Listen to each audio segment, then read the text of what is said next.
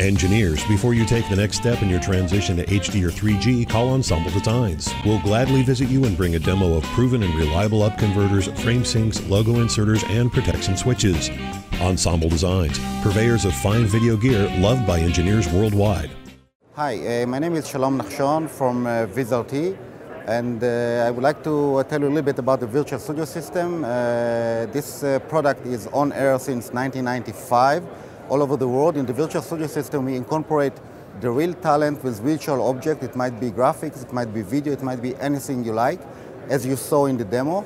And lately, uh, toward the election uh, on CNN, we incorporated the hologram being generated by Stats, our partners, and it comes into the studio looking as if naturally it's part of the scenery. Uh, the way it works is we provide the tracking data from the cameras to stats, and as the camera moves, they move the object or the virtual object or the hologram accordingly. So all looks naturally.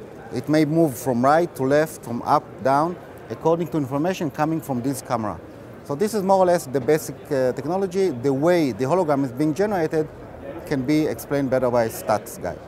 Hi, my name is Brian Kopp. I'm the Vice President of Strategic Planning at Stats, and we're here at NAB showing our virtual view technology. And what it is, it's a technology that you saw at CNN on election night. And what it is, is a, it's a virtual hologram effect that we're able to show either in the real world or in a virtual set. And what you see in our rig is we have a circle of stationary HD cameras capturing the image of our subject. And that image is the cameras communicate with the tracking camera back in the main studio.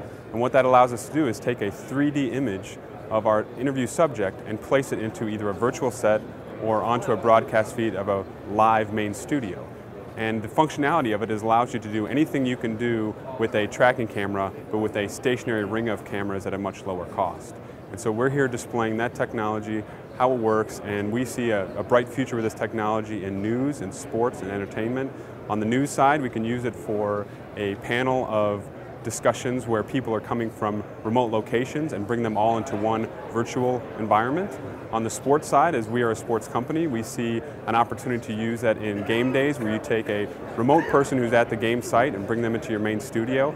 And in entertainment, there's many uses as well. So we're excited to show this technology with our partners VizRT, and we're hoping that it redefines the remote interview.